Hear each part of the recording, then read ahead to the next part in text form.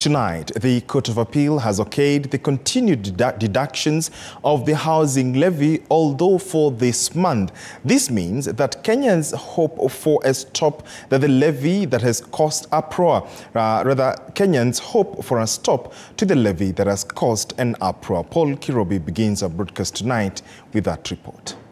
You and I will continue to contribute the 1.5% housing levy to finance the government's housing project, albeit for this month, after the Court of Appeal okayed the deductions. The Court of Appeal on Thursday, led by Justice Lydia Chode and two other judges, moniki Gashoka and Justice John Mativo, made a decision to maintain the status quo until the final ruling is made come 26th of January.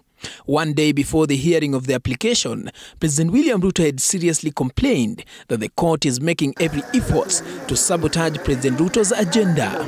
The Attorney General Justin Muturi had filed an application complaining that stopping the housing contribution will deny many people job opportunities since so far it has created more than 120,000 jobs six months down the line.